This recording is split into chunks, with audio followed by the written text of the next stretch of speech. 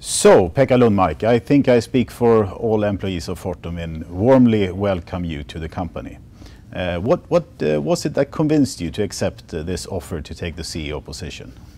Thank you very much. Uh, this is a very exciting opportunity. I mean, this is a possibility to influence the development of the energy market, which is really in the in the corner, in the center of the whole development of the society. And who could say no to that? Um, of course, you just started uh, as CEO, so it might be uh, something that you don't have a clear answer. But what what do you think will be your uh, first priorities in starting?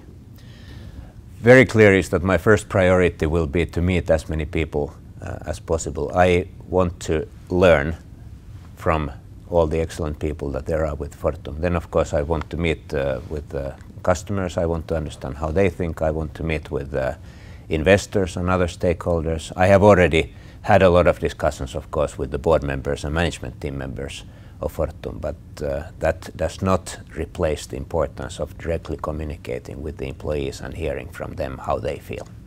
Uh, speaking of the board, have you been given any specific instructions on uh, the development or the direction of Fortum from, from the board?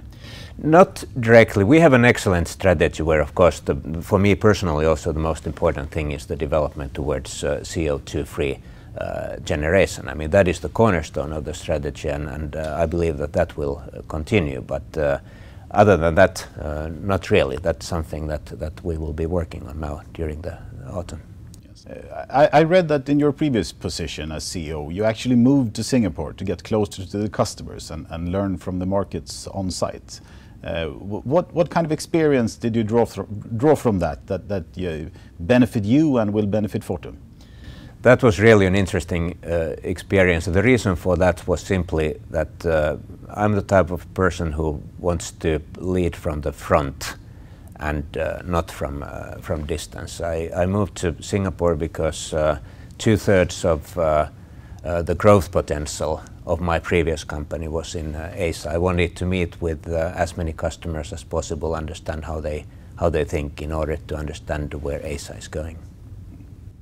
Okay, uh, one final question then. Uh, of course, everyone inside and external are, are expecting uh, big things, and, and the market is changing. So when can, when can we expect the first big news to be announced? I don't have an answer to that question. And of course, big news are not an end in itself.